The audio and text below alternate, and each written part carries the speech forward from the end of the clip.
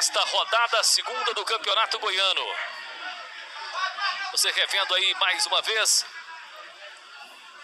o gol. Jogada ali. Ramon mandou seguir. Aí vem o Atlético com o Rickson.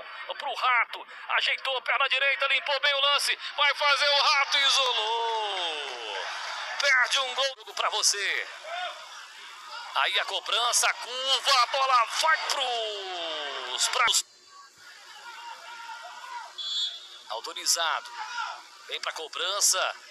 A bola viaja, cabeçada dele. Gonçalves pro Rato. Perna esquerda nela, boa inversão. Dentro da área, o cruzamento do lateral esquerdo, Jefferson. Chega a defesa. Tocou para a perna esquerda e bateu.